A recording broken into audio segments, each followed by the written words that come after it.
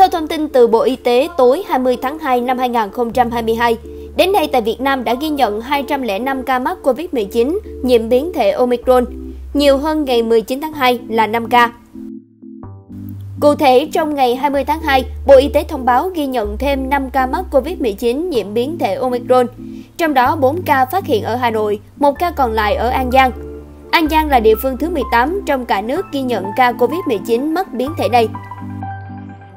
Trước đó, ca COVID-19 đầu tiên tại Việt Nam nhiễm biến thể Omicron được phát hiện tại Bệnh viện 108 ngày 23 tháng 12, công bố ngày 29 tháng 12 năm 2021.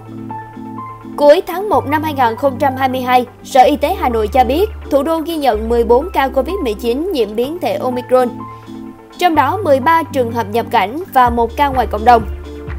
Ca đầu tiên ở cộng đồng nhiễm Omicron tại Hà Nội là nhân viên làm việc tại một khách sạn ở Hà Nội, tiếp xúc với 13 người nhập cảnh. Như vậy đến nay, Hà Nội ghi nhận tổng cộng 18 ca nhiễm biến thể Omicron, xếp thứ 3 trên 18 địa phương ghi nhận F0 mắc biến thể này. Theo Bộ Y tế, thời gian tới, nguy cơ tiếp tục ghi nhận các ca mắc COVID-19 nhiễm biến thể Omicron từ các trường hợp nhập cảnh và lây lan ra cộng đồng là rất lớn. Đặc biệt với biến thể Omicron, việc lây nhiễm sẽ có nguy cơ gia tăng nhiều hơn ở nhóm trẻ chưa được tiêm vaccine COVID-19.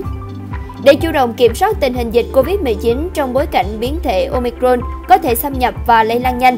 Bộ Y tế đề nghị các địa phương cần thực hiện nghiêm các chỉ đạo của Thủ tướng Chính phủ và các hướng dẫn của Bộ Y tế về chủ động phòng chống biến thể Omicron. Bên cạnh đó, các địa phương cần phối hợp với các viện vệ sinh dịch tễ, viện Pasteur để gửi mẫu bệnh phẩm nghi nhiễm biến thể Omicron để tiến hành xét nghiệm giải trình tự gen khẳng định.